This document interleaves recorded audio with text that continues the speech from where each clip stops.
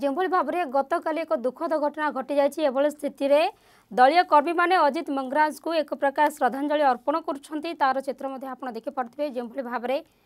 গতকাল সমস্ত এক বড় যদি কহা দুঃখদ লাগিলা এবং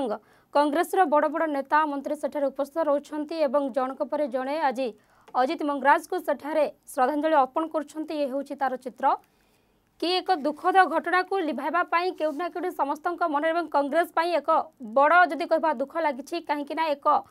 ବଡ଼ ନେତାଙ୍କୁ ସେମାନେ ହରାଇଛନ୍ତି କେଉଁଠି ନା କେଉଁଠି ସମସ୍ତଙ୍କ ପାଇଁ ଏକ ଦୁଃଖର ଛାୟା ମଧ୍ୟ ଖେଳିଯାଇଛି ଏବଂ ରାଜ୍ୟ ରାଜନୀତିରେ ଏକ ମଧ୍ୟ ବଡ଼ ଦୁଃଖଦ ଘଟଣା କାହିଁକିନା ଯାହା ସୂଚନା ମଧ୍ୟ ଥିଲା କି ତିନି ଦିନ ତଳେ ଅର୍ଥାତ୍ ଏପ୍ରିଲ ସତର ତାରିଖରେ ନିର୍ବାଚନ ହୋଇଥାନ୍ତା ଉପନିର୍ବାଚନ ହୋଇଥାନ୍ତା ପିପିଲିରେ କିନ୍ତୁ ତାହା ପୂର୍ବରୁ ଯେଉଁଭଳି ଭାବରେ अजित मंगराज देहांत हो समस्त मनरे एक बड़ दुखद घटना यह स्थित दलय कर्मी मैंने अजित मंगराज को